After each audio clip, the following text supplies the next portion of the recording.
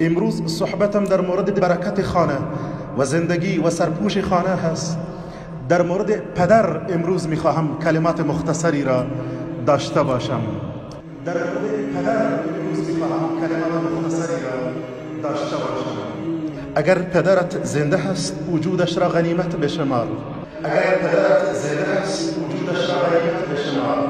پدر همان کسی است که محمد رسول الله صلی الله علیه و سلم در موردش میفرمایند الوالد اوسط ابواب الجنه فان شئت فاضع ذلك الباب أو احفظه پدر در میانه ترین وسط ترین دروازه بهشت است تو اختیار دارید یا أو را حفاظت کن و نگه دار و یا اینکه ترکش کن و رهایش کن و ضایعش کن او رنجهایی را تحمل کرده است. تا لقمنانی را برایت برساند.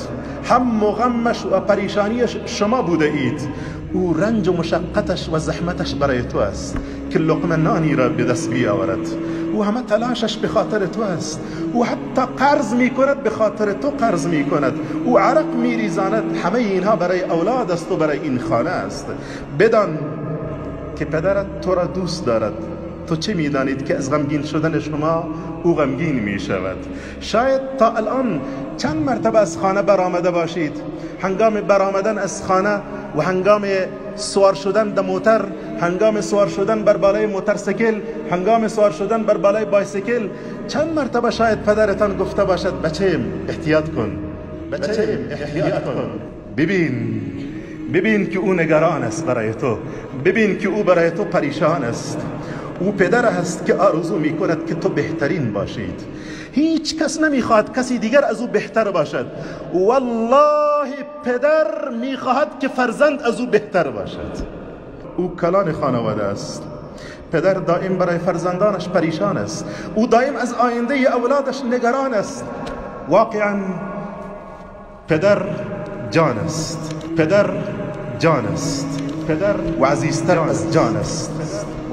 امروز در مورد کسی گپ می‌زنم که خودم محروم هستم. از وجودش.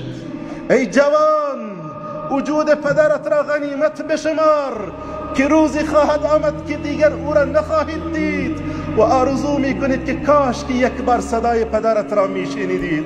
کاش که لحظاتی را با او نشستید آرزو می‌کنید که کاش که پدر جانت را یک بار به خواب می‌دیدید. و الان پدر در خانه هست همراه شما. والله والله والله که آرزو خواهید کرد که کاش که می پدرم در خوابم می آمد یک بار. کاش که مادرم یک بار در خواب می دیدم آرزوی دیدنش را به خواب دارید.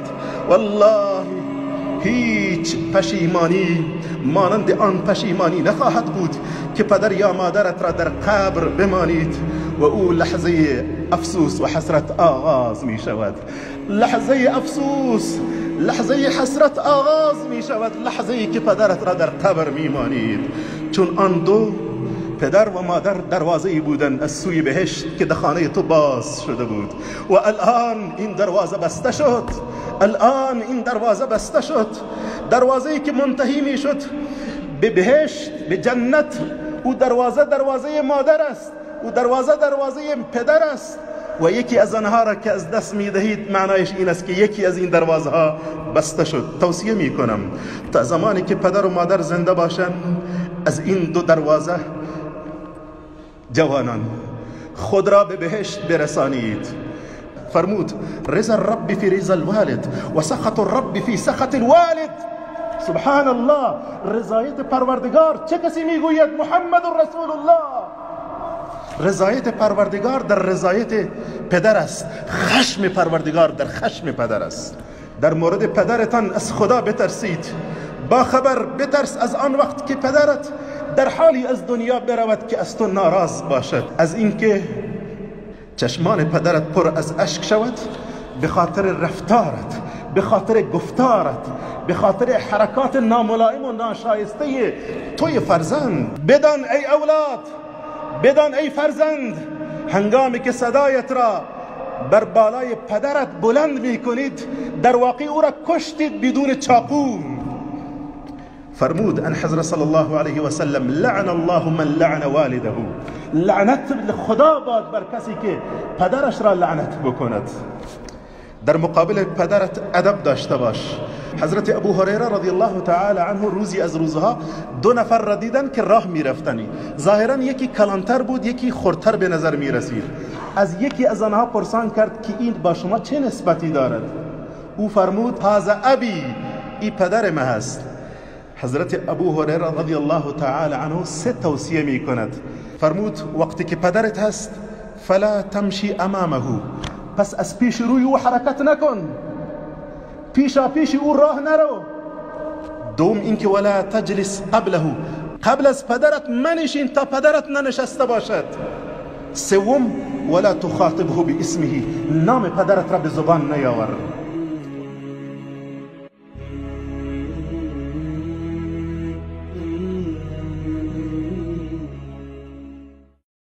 Hmm.